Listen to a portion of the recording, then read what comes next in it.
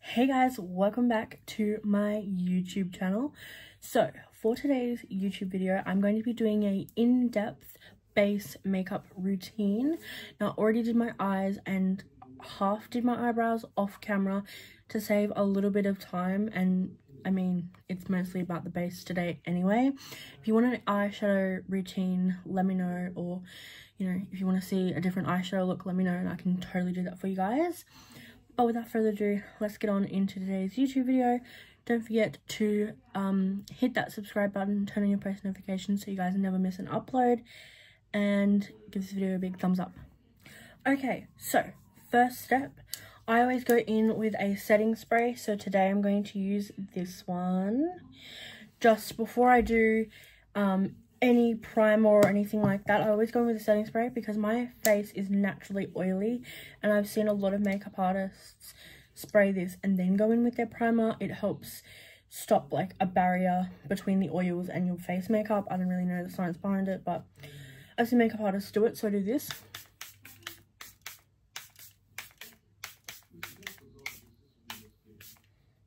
Okay, as much as you really want. Sometimes I go ham with it, sometimes I do a little bit. Also, I thought I should address the elephant in the room. Yes, if you guys don't follow me over on TikTok, which is just Lacey Jade, you will not know that um, a couple of weeks ago, I dyed my hair red. It's more red in parts.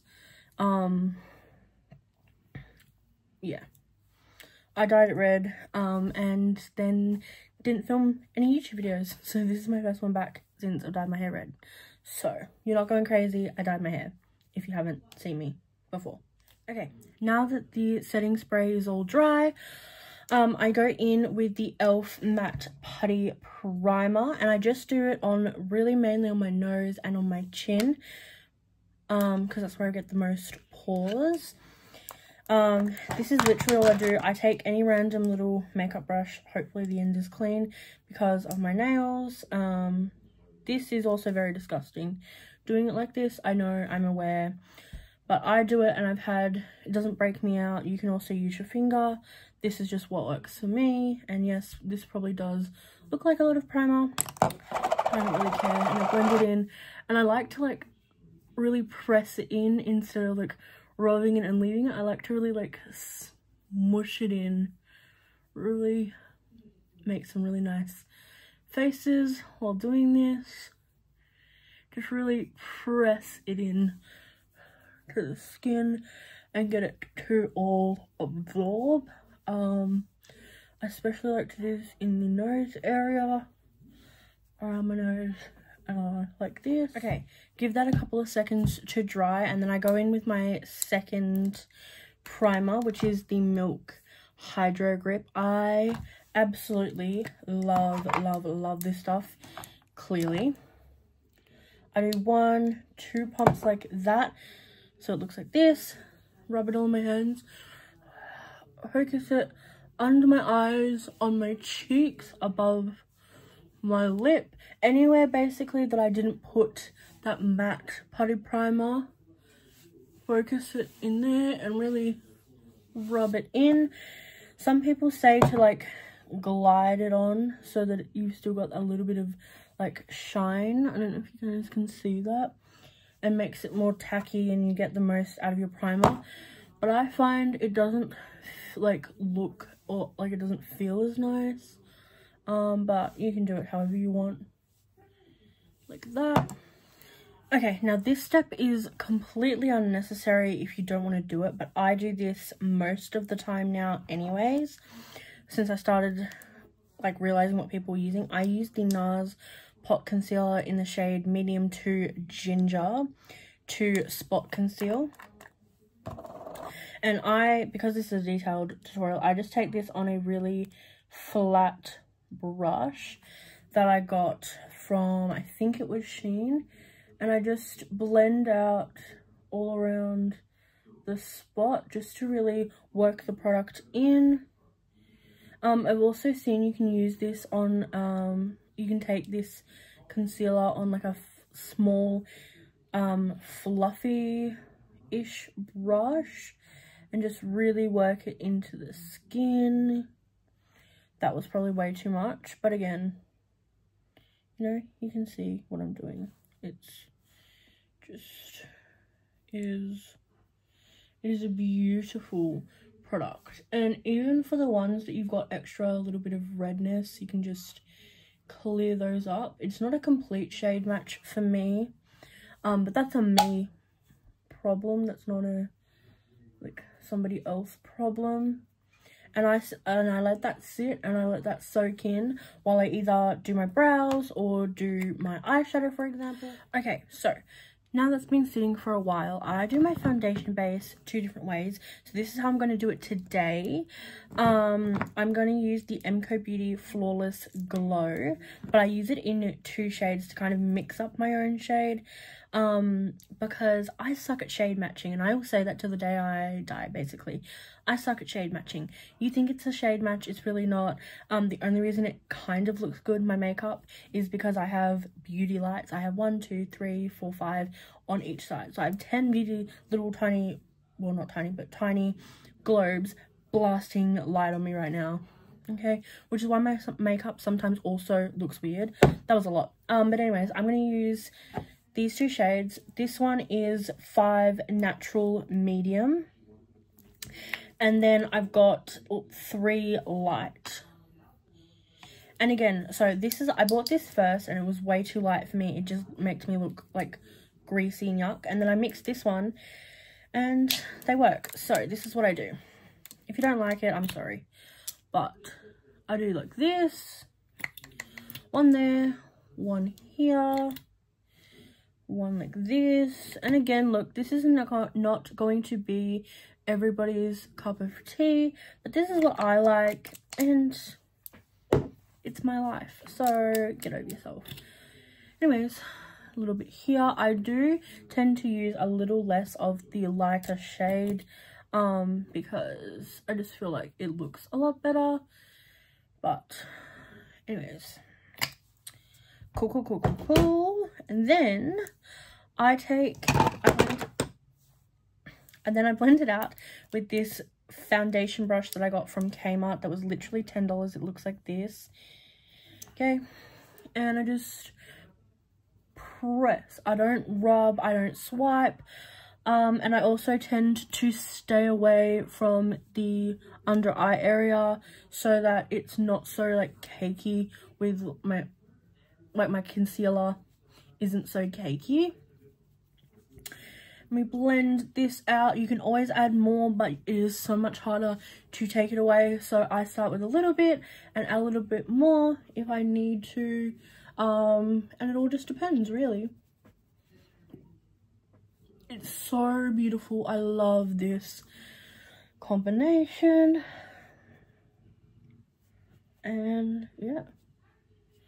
Um, yeah. The forehead is pretty easy. Um, I always like to say I have a big forehead, but I feel like I don't. It's not that big. It just, I don't know, just looks...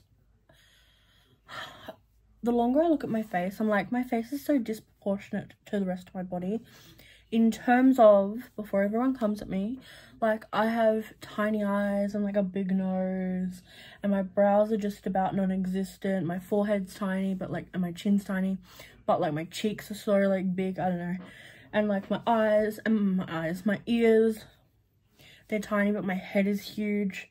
And i'm not talking about like fatness i'm talking about like size whatever. Anyways just random things that I like to talk about. That is that. That is super, super gorgeous. Now, normally I put like a skin tint over it or like a little bit of foundation because I want a little bit of extra coverage. But I must be having like a really good skin day. Okay, so blush and bronzer. I use creams and powders. You can either use cream, just creams or just powders. Doesn't matter. But today we're going to use do this. I'm going to use these are both the Australis brand. I think they were like 10 bucks each from Priceline. I'm going to use the bronzer in the shade Femme Fatal. Okay, you can't actually read that, but it says Femme Fatal, and it's the Dewy Daring bronzer. I think that's how you say it. Um, Okay, you take this on, I'm taking this on an angled brush. Normally I take this on a foundation brush or a little smaller, but I'm going to take this on a, just a angled brush like this. And I like to place it just above the cheekbone. So when I go like this, it's just above it, if not the same, like right where it is. And you just blend it out. That's really pretty. Um, I'm loving this. Also, you can add more, um, like I said, for foundation and stuff like that, you can add more, but it's hard, so much more harder to, to take away. So do be careful when you're using that amount. I like to really just, really, oh, okay. And if you make a mistake, I do my concealer after I do my cream bronzer and my cream blush. Because if you make a mistake, like I just have here, you can always fix it up with a little bit of concealer and some powder. You don't have to wipe it all away. So just keep on blending. Also, if, you know, I mean, normally I do foundation, but I haven't today. But you can just take your foundation brush and you can just buff it away as well if the brush or beauty blender you are using doesn't do the trick for your cream bronzer. Also, I forgot to mention, yes, you can use a beauty blender or a brush, but I choose brushes. I love brushes. They are so much easier to clean than beauty blenders, which is also another reason why I love brushes and not beauty blenders. Okay, for blush, we're going to use the Australis brand. This is the Dewy, Dewy Plus Daring, Daring blush. And this is in the shade First Love. I know it's backwards and you guys can't see it, but just imagine it says First Love. Anyways, I'm going to take the blush on just this really tiny, fluffy blending brush. And like sometimes I, I swipe it but today I'm just going to take a little bit because I don't want, oh jeez, I don't want too much. And we're just going to really blend that really right close to the bronzer. And this is really coming together with the eye look and everything. Okay guys, concealer time. I use, why my eyes look so weird? I don't like my eyeshadow. Anyways, not the point, not the point. I'm going to use, I use a whole bunch of different concealers on every, like, on an everyday basis. Like, I have my favorites, but why do I never use them? I don't know. But I'm going to use, we're going to do a throwback. I'm going to use the MCO Beauty Instant Conceal, Concealer, Camouflage and Contour. This is in the shade Medium. I love this. This one is one of my favorites. I'm going to do, like, a little bit here this is mainly where I place it anyway. I'm going to do a lot here because why I watched a TikTok that was so real the other day. It was like, why do people do a little dot and expect to have full coverage moment? Like you're not going to get a full coverage moment out of that much. So this is the placement for the concealer okay? Um and to blend it out under my eyes i use this fluffy brush that's a concealer brush from i don't even know where but it's just this. But then the concealer on my forehead and my cheeks i just use the same fluffy brush that i used to blend out my um my base. So just dab dab dab. I like to blend it into the nose and then just dab it like this. And again, as I always say, you can add more. But it's so much harder to take away. How many times have I said that in this video? Beautiful. I've still got a little bit of discoloration, so I'll probably go in with a little bit more concealer. I also could have probably left it here, left the concealer to um give me a little bit more coverage. I could have left it for a second. But oh well. It is what it is you know? Beautiful. I love this concealer. This is one of my all-time fave fave fave concealers. Not even just by mco beauty but like in general. Um So, yeah. And then, just to chisel out bronzer a little bit. And you can do this with powder as well, like a loose powder. But I like to take it that step further and do it a little bit with the concealer because why not? Okay guys, so the next step, um, I'm not gonna lie, if this was in real time, I bet I've been letting all my creams like sit here for a hot second. So what I'm gonna do is I'm just gonna blend out my under eyes just so that it, like I can blend out any creasing. And then I'm also going to take the big fluffy brush and just blend out any uh, any place like this. A little bit of the bronzer. And then take the blusher brush and just see blend out any of that Alright, now I'm going to go in with the Maybelline Fit Me Loose Powder in the shade Light. And we're just going to take this on a powder puff. Yes, this is dirty, but I've got so many, I could probably just throw this out. Anyways, I'm going to take that much, dab it on my hand, which has got blush on it, and really press that in to the under eye. And really just press that in there nice and good. Um, I don't really press this hard or, you know, anywhere else, but I really want it to set my under eyes because I love this stuff. Like, look how incredible that is. Alright, now I'm going to take some more, dab it on my hand, and I really press it into my nose as well. My nose gets super, super oily. So I like to really just cake my nose up. If you don't like the cakey look, obviously use less powder. Um, setting spray also helps with that. Um, it'll make it look less cakey. And then I take some more powder, which this looks like a lot, but anyways, I go straight over the blush straight over the bronzer and just set the rest of my entire face. That didn't... Also, guys, I just wipe away the um, powder with a fluffy brush like this and it's super easy just to... It comes straight off. Um, and also, if you think you've lost a little bit of colour, from the blush or your bronzer, just wait because powder will, your powder blush or bronzer will fix that right up for you. Now it's time to bring all the colour that I just took away back to my face.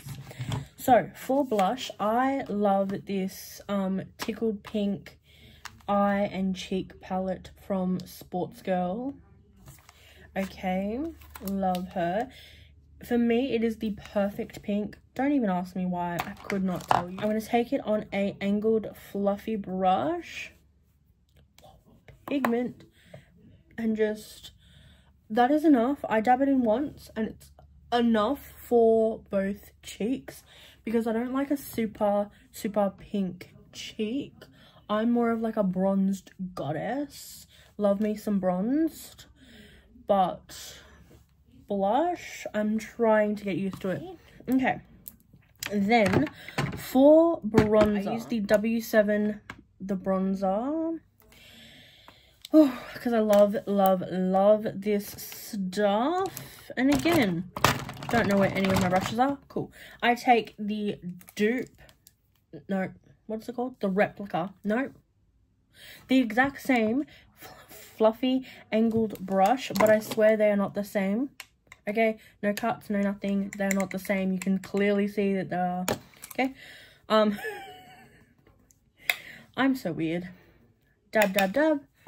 Love me some bronzer. I get up nice, up close and personal with the blush.